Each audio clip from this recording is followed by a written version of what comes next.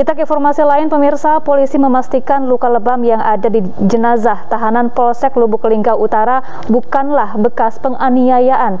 Namun sayangnya, autopsi yang rencananya akan dilakukan batal karena ditolak pihak keluarga.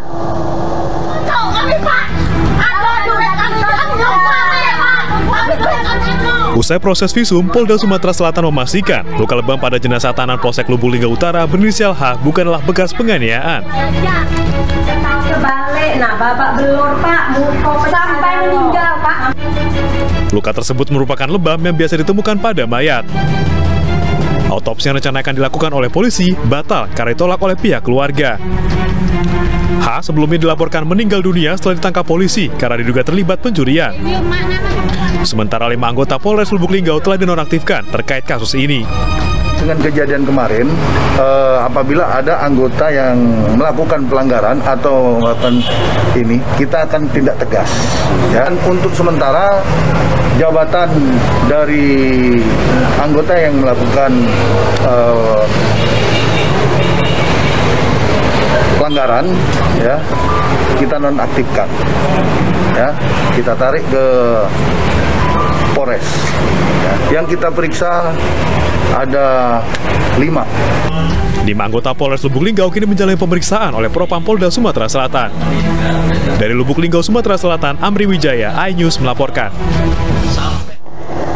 Ya, kasus meninggalnya tahanan di sel bukan pertama kali terjadi. Di Cilegon, Banten, seorang tahanan kasus narkoba tewas dibunuh di dalam sel.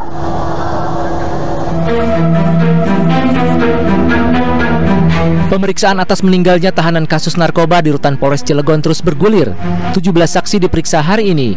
Mereka adalah tahanan di Rutan Polres Cilegon. Status penyelidikan pun naik menjadi penyidikan.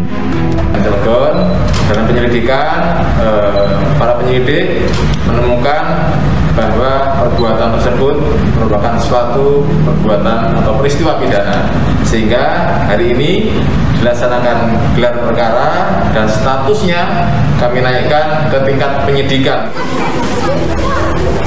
Korban dimakamkan di Kampung Toyo Merto, Desa Wanayasa, Kecamatan Serdang, Serang, Banten. Keluarga korban menilai ada kejanggalan dari kematian AA, tahanan kasus narkoba. Dugaan sementara korban dianiaya karena adanya luka lebam pada jasad korban. Keluarga pun meminta pelaku ditangkap dan bertanggung jawab. Artinya supaya kita untuk membongkar daripada permasalahan permasalahan supaya ketahuan siapa yang salah siapa yang benar. Kalau dari penjelasan dari pihak kepolisian sendiri terkait hasil otopsi kan ada sampai uh, mungkin hari ini juga. Tahanan kasus narkoba berinisial AA tewas dalam perjalanan ke rumah sakit. Proses otopsi telah dilakukan pada Kamis lalu di RSUD Kota Cilegon, Banten. Tim Liputan iNews melaporkan.